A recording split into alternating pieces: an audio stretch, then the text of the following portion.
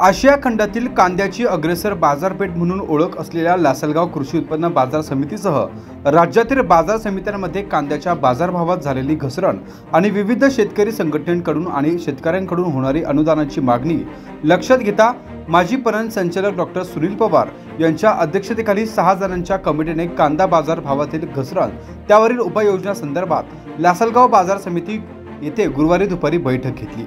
यावेळी शेतकरी विविध संघटनेचे पदाधिकारी आणि व्यापारी यांच्याशी चर्चा करत आढावा घेतला यावर अभ्यास करून राज्य शासनास येत्या आठ दिवसात अहवाल सादर करण्यास असल्याचं पवार यांनी सांगितलंय.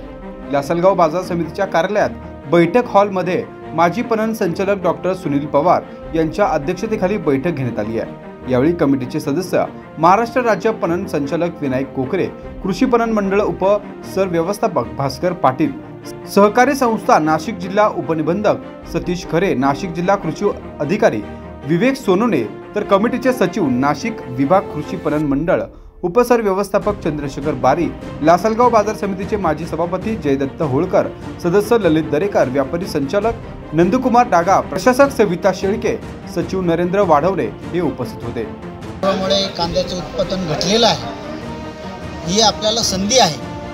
जगामध्ये आज कांद्याला प्रचंड मागणी आहे आणि रेट पण दुसऱ्या देशांमध्ये चांगले आहे तर जास्तीत जास्त कांदा निर्यात कसा करता येईल हेच सरकारने केलं पाहिजे. सरकारने शेतकऱ्यांकरता बाजार स्वातंत्र्य दिलं पाहिजे. निर्यात बंदी लावून कांद्यावर निर्यात बंदी लावून जे सरकार कांद्याचे भाव पाडते हे फार चुकीचं आहे. आणि नाफेडची खरेदी ही जागतिक बाजाराप्रमाणे झाली पाहिजे.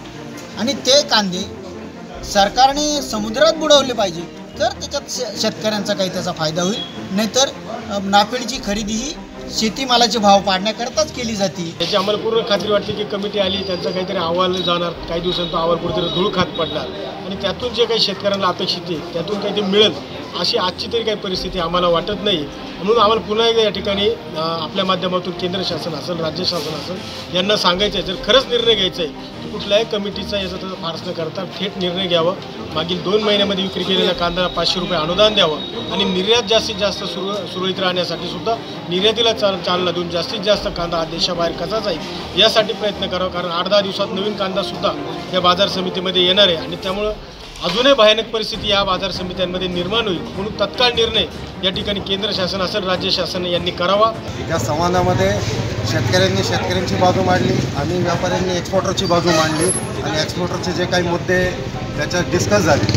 त्याच्यामध्ये जे इतर देशामध्ये जसे बांगलादेश सौदी अरब त्याच्यानंतर कोलंबो इथे अगोदर ड्युटी कांद्यावर आपल्या इम्पोर्ट ड्युटी लागत नव्हती. या देशांनी येत्या या दोन वर्षामध्ये इम्पोर्ट ड्युटी लावायचं काम चालू केलेलं आहे. आम्ही गव्हर्नमेंटला विनंती केली की आपले इंडियन कॉन्सुलेटने तिथे जाऊन त्या त्या कंट्रीशी चर्चा करून ह्या ज्या ड्युट्या लागल्या गेल्या आहेत अगोदर लागत नव्हत्या त्या कमी करण्यात याव्या त्याच्याकरता प्रयत्न करावे.